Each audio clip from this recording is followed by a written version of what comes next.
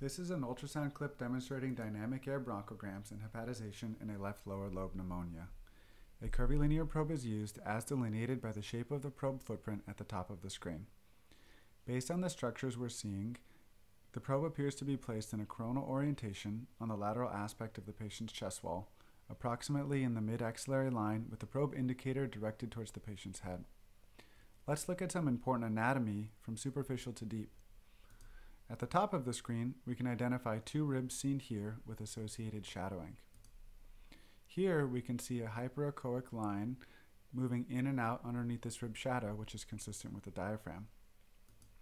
The pleura line can be seen here.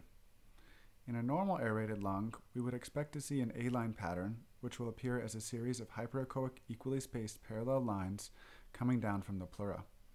This is an artifact and does not represent actual lung tissue. However, in this image, we do see actual lung due to consolidation. Notice that this consolidation has an echo texture that is similar in appearance to liver, often described as hepatization of the lung. We can also see in this image hyperechoic structures moving to and fro as the patient breathes. These are consistent with dynamic air bronchograms. Both of these findings are mainly seen in lobar pneumonias.